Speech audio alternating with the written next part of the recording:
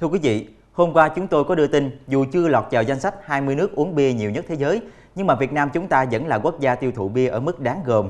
Nếu mà kinh tế nước ta cũng tăng trưởng giống như lượng bia uống hết mỗi năm thì tin rằng là không bao lâu nữa Việt Nam chắc chắn sẽ trở thành cường quốc. Bởi vì hiện nay lượng bia người Việt tiêu thụ năm sau luôn đạt mức cao hơn năm trước. Và theo tính toán, đến năm 2017, thị trường bia của Việt Nam sẽ cắn mốc đó là 4 tỷ lít. Trong khi đó, con số của năm 2016 đã là 3,7 tỷ lít bia, vốn đã tăng 9,3% so với năm 2015.